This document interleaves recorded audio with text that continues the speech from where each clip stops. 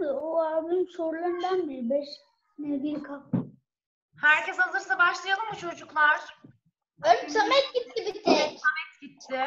Ben orada Hayır gitmedim. Evet herkes kitabında bu sayfayı mı açtı? Önce bir bunu ne yapalım? Evet. Tamam mı? Artık seslerinizi kapatacağım. Bir kere. Anlaştık mı? Anlaştık. Evet çocuklar bugünkü konumuz Türkçe dersinde 5N 1K. Peki ne demek bu 5N 1K? Beni duyabiliyor mu herkes? Evet. İstiyorum. Sesler çok karışıyor o yüzden sizi sessize alıyorum çocuklar.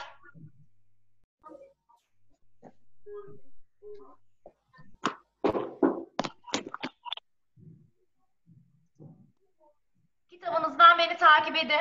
Bir şey olursa zaten parmak kaldırın. Ben sizi buradan görebiliyorum. Evet. Bir seni kapatmayı unutmuşum. Hı, seni de kapattım tamamdır. Evet çocuklar bu haftaki konumuz Türkçe dersinden 5N 1K. Ee, biz aslında bu soruları ve bu konuyu e, okuma yazmayı öğrendiğimiz ilk günden beri her zaman işliyoruz. Ee, konuşurken ve yazarken ne, nerede, nasıl, niçin, neden, ne, ne zaman, kim sorularını kullanırız biz. Konuşurken, yazarken, günlük hayatta. Cümlelerde kullanılan ne, nerede, nasıl, niçin, neden, ne zaman, kim sorularını biz 5N 1K diyoruz. Neyleri görüyorsunuz? Ne, nerede, nasıl, niçin, nedeni bir tane almış ve ne zaman? Bunlar 5N'yi oluşturuyor. 1K'yı da ne oluşturuyor? Kim oluşturuyor? Anlaştık mı? Sanırım anlaştık. Devam ediyorum şimdi. Mehmet ne yapıyor diyor soruda. Ben size her zaman zaten metinle ilgili soruları cevaplarken de hep ne diyordum? Tam cümle istiyorum sizden. Soru kısmını çıkarın, onun yerine cevabı yazın. Bu şekilde cümleniz tam cümle olur diyordum. Bakalım Mehmet ne yapıyor yazıyor. Bunun cevabı olarak ne koymuş? Mehmet deney yapıyor. Burada neyin cevabını bulduk deneyde. Devam edelim diğer örneğimizle. Yavru kuşlar nerede duruyor? Buradaki 5N1K sorumuz ne? Bu cümleye soru anlamı kazandıran kelime ne? Nerede değil mi? Yavru kuşlar yuvada duruyor. Evet Sametciğim. Bir şey mi soracaksın Samet?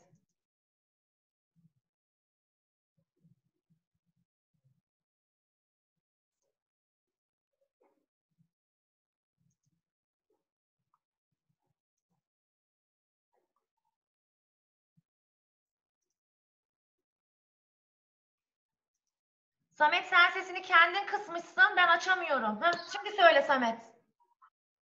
Bir şey geliyor önüme. Ne geliyor? İşte böyle bir şey yazısı geliyor. Biz şu anda Ben de bir, ekranı göremiyor ben de bir şey görüyorum ama bir şey geliyor. Ne gibi bir şey geliyor? İstersen bir annene babana sor. Yazı geliyor. Annem bilmiyor, babam da uyuyor. Ne yazısı geliyor? Ne yazıyor yazısı?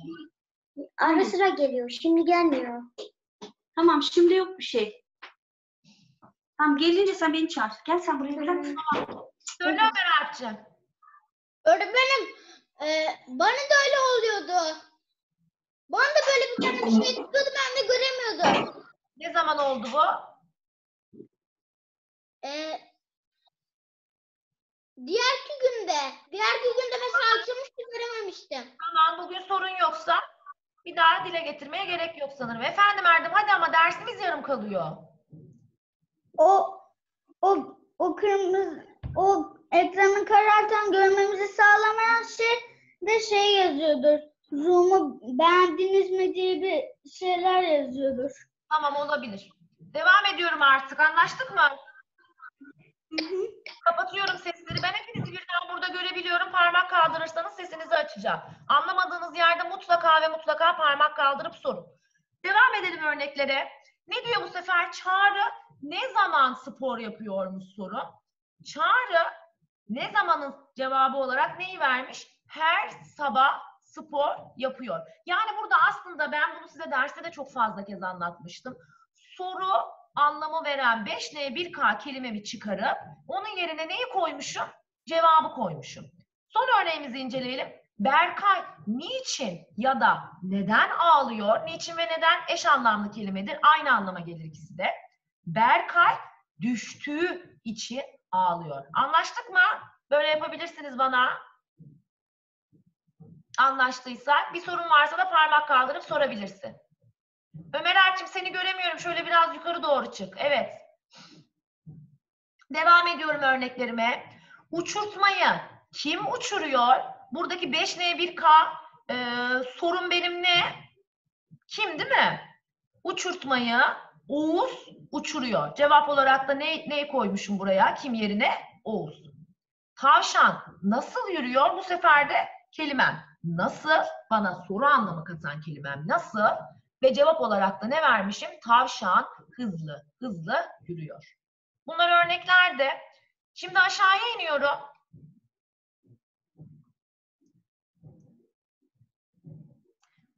Bu bir örnek çocuklar zaten. Burada cevap yazılı. Ama biz yine de bir örneğin üzerinden bir daha e, şey yapalım. Hani biz bu zamana kadar hep ne yaptık çocuklar? Hep bize sorular soruldu. Biz onlara cevap verdik değil mi? Bu sefer farklı bir şey yapacağız. Bu sefer bize cevap verilmiş, biz onun sorusunu bulacağız. Anlaştık mı? Yani aynı şöyle gibi düşünün. Hani matematik dersinde bazen e, problemi biz yazıyorduk, cevap çıkıyordu ya. Bu da onun gibi aynı. Cevap bana verilmiş. Ben e, sorusunu bulacağım. Hem de neyi kullanarak, hangi kelimeyi kullanarak, neyi kullanarak. Anlaştık mı? Örneği inceleyelim. Emel teyze mutfakta kek yapıyordu. Bana bunu neyle sorusunu sor diyor. O zaman ne yapacağım? Sorum ne olacak? Emel teyze mutfakta ne yapıyor? Şimdi normal soruya geçince daha iyi anlayacağınızı düşünüyorum. Görebiliyor mu herkes? Evet. Tamam, ben açtım zaten çocuklar size. Ee, şimdi sorumuz neymiş? Nerede? Görebiliyor musun soruyu burada? Evet. Bana soru e, kelimem, bana soru anlamı sağlayan kelimem neredeymiş? Cümlem de yani cevabım da çocuklar bahçede top oynuyorlar. O zaman bana parmakla kim cevap vermek istiyor? Nerede kullanarak bunun sorusu ne olabilir? Parmakla görmek istiyorum. Ne olabilir sizce? Evet, bir cevap versin. Çocuklar nerede top oynuyor? Süpersin Nilcim. Çünkü burada neredenin cevabı olan kelime ne? Bahçede. O zaman bahçedeyi çıkaracağım. Yerine neredeyi koyacağım. Ben sizin için cevap tarafını açıyorum şimdi çocuklar. Buradan baka baka yazabilirsiniz. Görebiliyor mu yazacaksın. Çocuklar nerede top oynuyor? Anladı mı herkes? Bekliyorum ben sizin yazmanızı.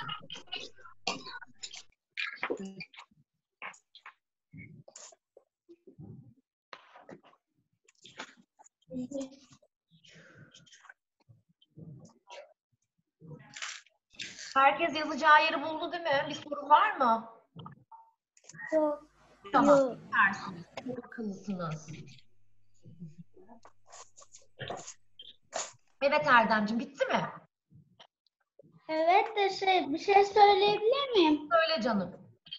Az önce kalem yere düştü ben de aldım. Tamam tatlım kalem yeri Öğretmenim, Tamam derste de benimki de zaten alıyorum. Süpersin derince. Bitirenler yavaş yavaş aşağıdakileri yapabilirler. Öğretmenim ben biraz kısalttım oynuyorları. Nasıl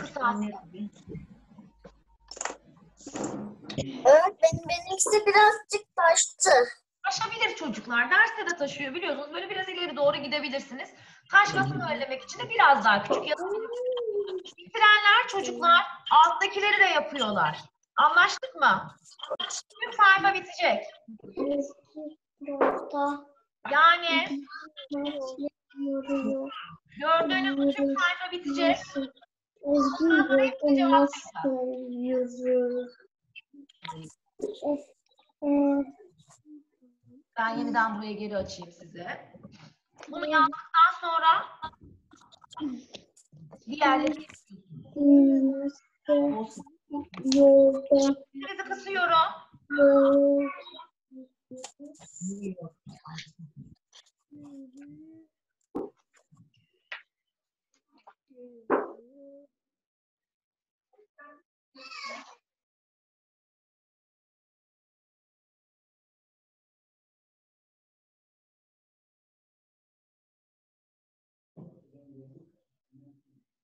Vay.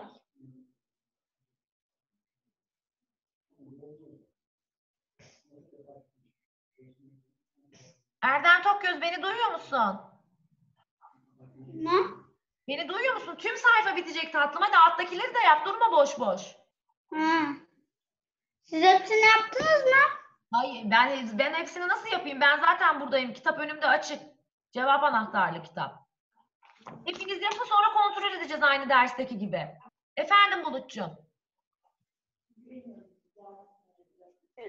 İşte eee dördüncü de sadece neden yazsam olur mu? Yoksa ne için, niçin yazsam? Çocuğum e, şey Bulutcuğum neden ya da niçinden birisini seçeceksin zaten. Yani evet ya neden seç ya niçin seç. İkisi birden olmaz. Tamam öğretmenim.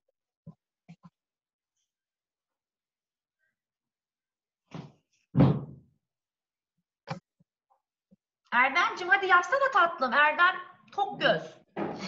Tamam.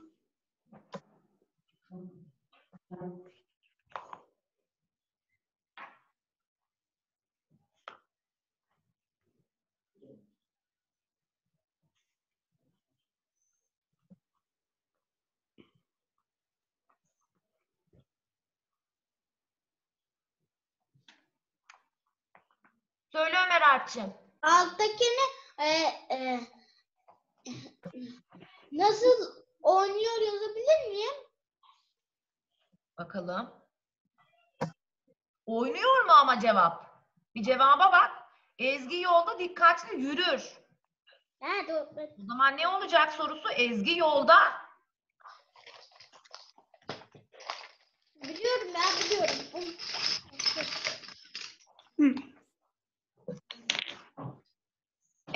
Nilcim. Açtım sesini canım.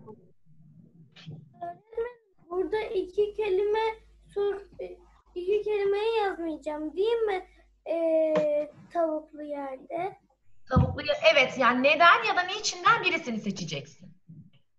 Hayır öğretmenim onu değil. İki tane cümleyi. Eee, yani kalemi de yazmayacağım değil mi? Evet. Çünkü o Fili- biraz Yani cevap şey e, çok fazla hani ipucu vermek istemiyorum ama Filiz e, nokta nokta nokta ağlıyor. nasıl? Evet.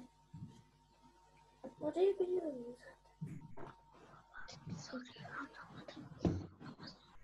Soru sorarsın.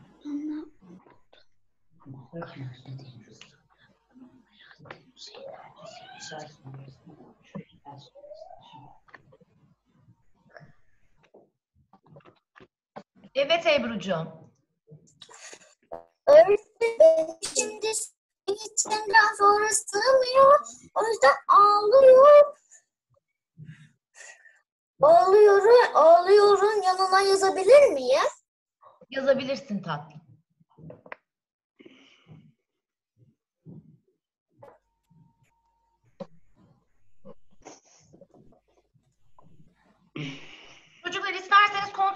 Başlayalım. Tamam mı? Yapamadıkça da devam ettiririz. Anlaştık mı? Şimdi bana nasıl sorunun cevabını kim vermek istiyor? Nasıl? Öğretmenim benimkisi bitti.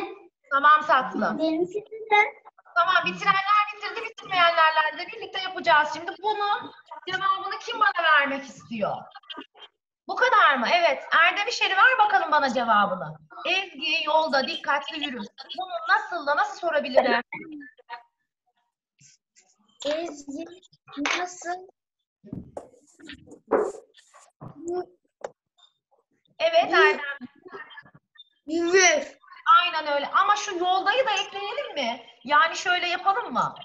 Ezgi yolda nasıl yürür? Anlaştık mı? Ben öyle yazdım öğretmenim. Böyle yazan Ömer'im ben de öyle yazdım eski yolda. düzelsin çocuklar vakit vereceğim zaten.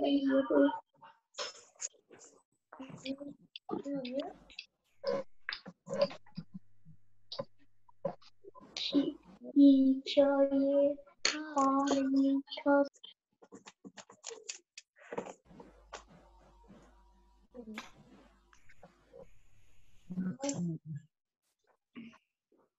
Evet Ömer. Öğretmenim ben şöyle yazdım. Ee, nasıl yolda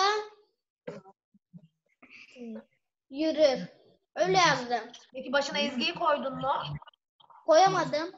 Onu da koyman lazım ama. Çünkü nasıl ben tam cümle istiyorsam bu da sizden e, tam soru istiyor. Soruyu da tam şekilde nasıl yolda yürürdü ne- cevap olarak Ezgi'yi verdi. Ezgi'yi nereden çıkardı o zaman bu yazan kişi? Burada pembeyle yazılanın aynısını istiyorum sizden de çocuklar. Yani bunun bu cümlenin aynısını Ezgi yolda nasıl yürür? Aynısını yazmanız lazım. Ne oldu Samet? Yine mi yazılar çıktı?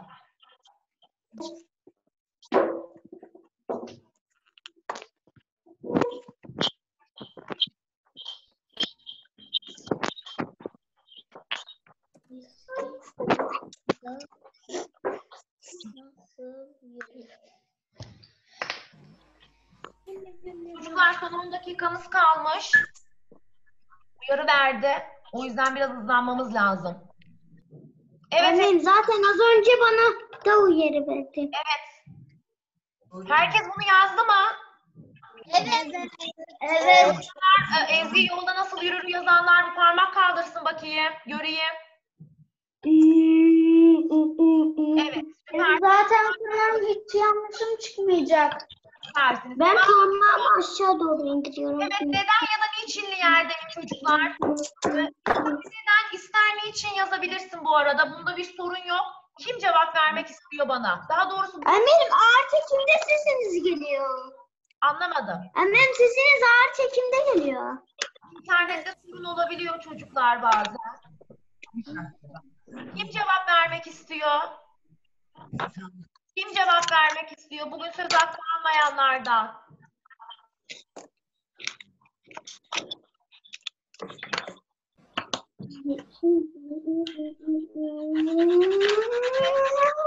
Ne oluyor? Kim o sesleri çıkaran? Öğretmenim Samet. Sametciğim sessiz, se- sessiz alıyorum seni. Evet Derincim, cevap verir misin bize? Filiz Evet. neden kaybolduğu için ağlar? Kaybolduğu içini peki yazmamıza gerek var mı Derincim burada?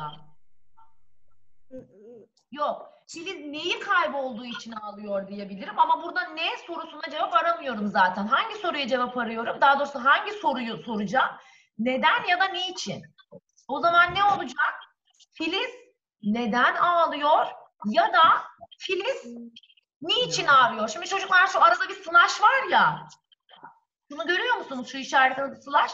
Siz bunu yazmak zorunda değilsiniz. Siz ya nedeni ya niçini yazacaksınız. Anlaştık mı? Burada gördüğünüzün aynısını yazmayın. Yani neden ya da niçinden birisini seç. Filiz neden ağlıyor ya da Filiz niçin ağlıyor yazmanız lazım. Anlaştık? Anlaştık. Ya Filiz neden ağlıyor olacak ya da Filiz niçin ağlıyor olacak.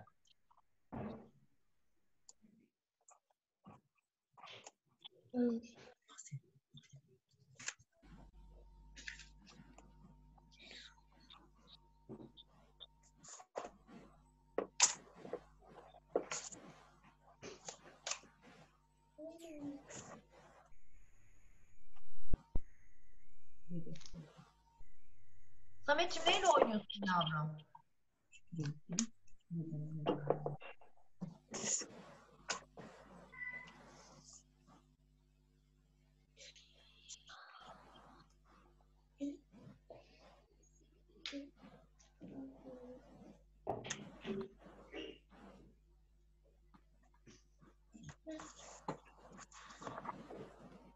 Bitti mi herkesinki Ömer Alp? Bitti mi seninki? Hayır. Neredesin? Çok az kaldı. Yordayım yor. Tamam. Soru işareti, bu arada soru işareti koymayı unutmuyoruz değil mi? Çünkü bunlar birer soru cümlesi. Ve soru cümlelerin sonunda da soru işareti gelecek. Erdem senin bitti mi? Hayır. Ama kaldı. Hadi tamam bekliyoruz seni. Vaktimiz az kaldı çocuklar o yüzden. Son 6 dakikamız Ben bitti. kaldı. Bit, bitti yani.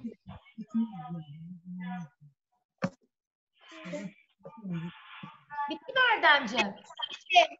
Şu Tamam o zaman devam ediyorum. Evet bana bunun cevabını kim vermek istiyor? Bu ders söz hakkı almayanlardan birisi olsun. Maymunlu yerdeyim. Sorum ne zaman? Kim bana cevap vermek istiyor? Bu ders kim söz hakkı almadı? Nil aldı. Bulut sen de almadın galiba bu ders söz hakkı değil mi? Evet, Tamam. anladım. Sen cevap ver o zaman buna. Daha doğrusu bunun sorusunu sen sor. Dün gece yağmur ne zaman ya yağdı? Bu mu peki sence bunun sorusu? Ne zamanın bu cümledeki ne zaman sorusunun cevabını ilk olarak onu bulalım. Ne zaman yağmur yağmış? Bunu Ee, gece. dün gece yağmış. O zaman ben ne zamanı neyin yerine koyacağım? Dün gecenin. Anlaştık mı? O zaman ne olacak cevabımda? Daha doğrusu sorumda. Ne zaman yağmur yağdı? Sametciğim onu çıkar ağzından yağmur. Yağmur. Samet çıkar onu ağzından. Yazmayanlar yazsın. Ne zaman yağmur yağdı?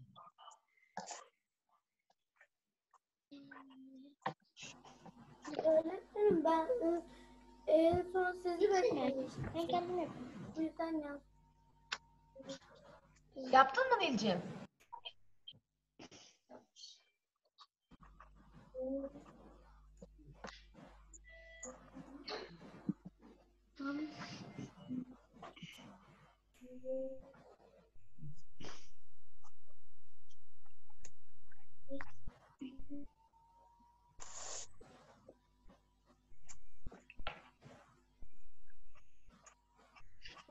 Samet sen yazdın mı? Yazdım. Değil mi hepsi senin? Evet. Aferin sana tamam. Ben zaten daha önce bitirdim. Buradakini anlamadım. Öğretmenim yo, orada yo mu var ne var en sonunda? Yağdı. Yağdı. Ne zaman yağmur yağdı? Evet Erdemciğim, Erdem İşeri. Ben hepsini bitirdim. Aferin sana. Evet sanırım herkes bitirdi. Alttaki soruya geçelim. Ben bitiremedim sadece. Bitiremedin mi? Tamam o zaman açıyorum senin için. Biraz hızlı ama Ömer Erçim. 3 dakikamız kaldı. Öğretmenim sadece şurayı şuraya çektiniz o kadar. Öğretmenim ben de bitirdim. Ne zaman yağmur yağdı? Bunu yazdın mı? Hayır yazmadım yağdı. Hadi yaz o zaman. Göremiyor musun sen? Öğretmenim ben de bitirdim. Aferin Derincim. Öğretmenim ben de bitirdim. Aferin Ebroş. Bunu şuraya getirsem göremiyorum çünkü ben. Gördün mü Ömer Alp? Yazdın mı? Yazdım. Tamam o zaman ilerliyorum. Buraya getir. Bir alttaki soruya geçtim. Daha doğrusu cevaba geçtim. Gör, görüyor mu herkes? Evet. Evet neymiş? Bu resmi Yasemin yaptı diyor. Ve bana kimi kullanarak bir soru cümlesi oluşturmamı istiyor. Kim cevap vermek istiyor? Eh. Kim cevap vermek istiyor? Bugün söz hakkı almayanlardan. Öğretmenim ben anlamadım. Evet Ömer Alp konuştu. Ömer Alp o zaman cevap versin. Bu resim kim yaptı? Süpersin Ömer Alp'ciğim. Neymiş sorum? Bu resmi kim yaptı? Anlaştık? Böyle mi yaptı sanki herkes? Yazmayan var mı? Yok. Efendim Erdem Tokgöz.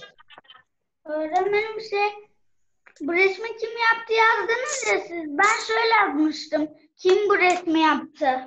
Evet Erdem kim bu resmi yaptı da olur ama şimdi burada Yasemin olan yani cümlenin cevabı olan Yasemin'in tam yerine yazıyorum ya kimi? Ama seninki de olur yanlış değil. Kim? Öğretmenim Efendim Nil? Ya. ben şu an dersimi yaparken çok düzenliyim. Bir kalem falan var. Aferin sana. Sen hep güzel bir kız. Öğretmenim. Çocuklar e, son bir dakikamız kaldığı için alttaki örneğe de geçiyorum. Yapamayanlar dersten sonra yapsın. Anlaştık mı? Aa, bitmiş zaten. Anlaştık. Tamam tamam bitmiş. Son bir dakikadan az vaktimiz kaldı çocuklar. Ee, o yüzden artık burayı kapatıyorum. Son söyleyeceklerimi söyleyip dersi bitireceğim. Anlaştık? Ben şimdi Yazdı mı herkes? Bu resmi kim yaptığı? Evet. Tamam. Evet. Tam şimdi görebilirim.